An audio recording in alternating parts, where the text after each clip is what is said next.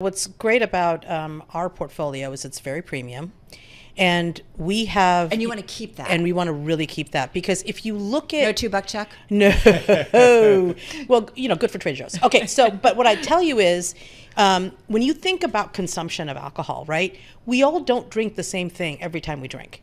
When we're when, when we want to celebrate, we want to drink champagne, right? We want to just relax and unwind. We might want a glass of bourbon, right? When we want to impress somebody, we might want to take out a very high end cognac, right? Nobody drinks the same thing. Why they drink is the context in which they're in. So when you have the right premium portfolio that goes across all these different occasions, you actually have an advantage. And our strategy at Pernod Ricard is literally to activate more brands than our competition with the same cost to serve. Huh.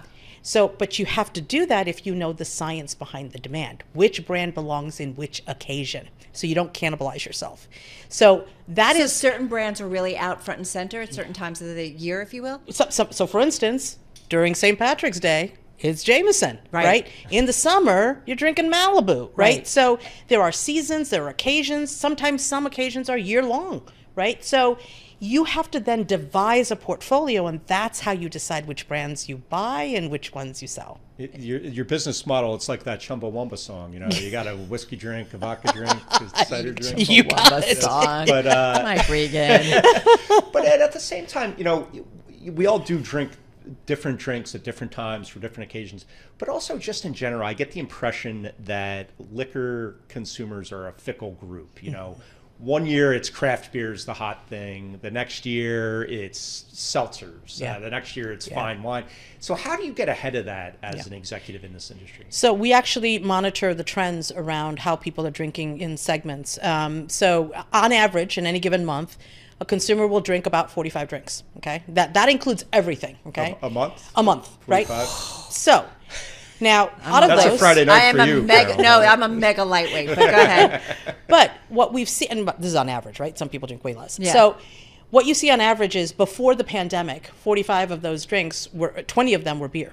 Okay. After the pandemic, they've lost two whole drinks.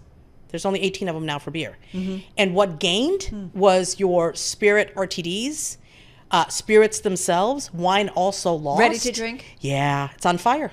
It's on fire because people are walking away from beer. Then they went to malted RTDs, but they're like, eh, taste isn't so great. How much is that growing? The RTD. Ready Oh my? God! For you guys? for us, it's it's exponential growth. It's like fifty percent. Like it's it's huge Year over year? Yeah, it's huge. But off a small base. off a small base. Okay. Off a small base. Okay. Could it be a bigger base? It could very much a bigger base. I mean, we have RTDs in Absolut. We have it in uh, Malibu, uh, Jameson, and in Absolut, we're just about to launch our ready to drink with Ocean Spray. You know, so you think about you know we were talking about the you know the the the wonderful cocktail that Yeah. we're all used to, which is the Cosmo, and so it's uh it's here, here's the big thing: consumers post pandemic want cocktails conveniently. Period. That's what it is. Yeah, I'm not a good. I know people who are really into it and they get the gear and they're like, Yeah. love it. I'm like, uh, just give me the bottle. Let me throw it over some ice. Yeah, I'll tell you a great example. So this is it helps you understand the occasion.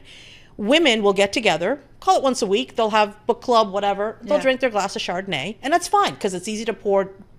You know, after week after week of Chardonnay, you're like, I really want a cocktail. but nobody wants to make a cocktail. So we launched ready to drink Altos Margarita. And literally, all you do is pour it like you would wine, and it's an instant margarita. And I'm telling you, this thing is bar quality.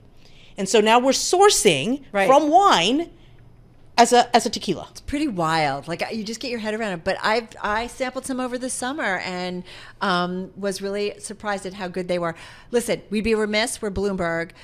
Booze, Yeah. great leading indicator, especially because you play into the premium side of things of how the luxury market is going right now. How are the numbers in terms of this economy and then going into next year? How would you describe it? How are you seeing it? Yeah. So you know, Any slowdown? It, well, we're we're getting past COVID, right? And COVID was a big boom. People were stocking up, et cetera, et cetera.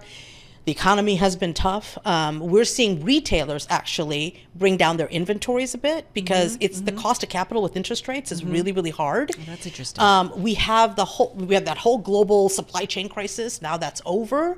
So what's what's happening is we're seeing resiliency in consumers drinking. So you know the sellout and what people are consuming, but now the inventory situation is kind of you know kind of settling out. So when you look at the numbers, you know, from a net sales or a shipments perspective, it's lower than actually what people are buying because there's a little bit of over inventory in the industry. But if you ask me long term, you, you said those numbers in the beginning of the program, like about 6% Right. CAGR, right? Right. Pre-pandemic, that's we were growing four or five percent every f- year. In the pandemic, it was double digits, right? Uh, this is now the post-COVID kind of shakeout, and I think as you move forward, Right. you're going to go right back to that four to five percent.